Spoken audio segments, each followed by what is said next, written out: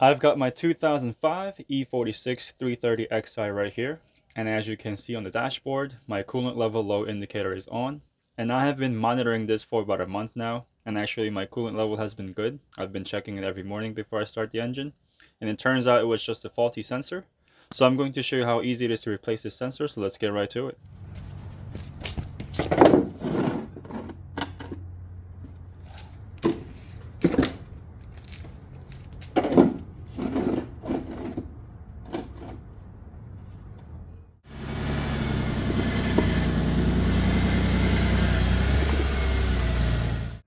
Okay, underneath the driver's side, there's the sensor right there. I'm going to take that off.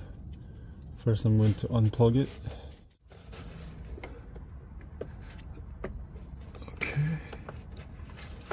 I'm gonna get my new sensor ready. I believe it's towards the right, clockwise.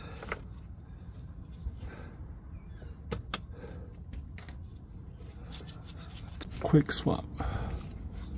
Alright, let's pause here for a second because I'm doing this job without draining any coolant. So my car is full of coolant right now. So as soon as I removed the older sensor, I was anticipating coolant to gush out from the hole. And you see my right hand with the new sensor just ready. Pop, pop. One, two, three. Quick swap. And I was like, nah, this ain't it. No drop? Okay. Easy peasy. Let's get it. Oh.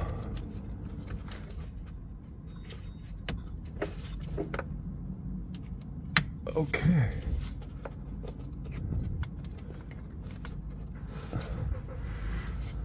That's it. And let's see if my light goes away after driving for a while. On the way to and back from work, the light has stayed off, so problem solved. Next quest would be the airbag light, and I'm trying to figure out what would be the best way and the proper way and the cheapest way to get rid of this light. And I've done some research and there's a bunch of different ways that people have done, but I will do my best to figure out the best way. Stay tuned for next video. See you guys next time.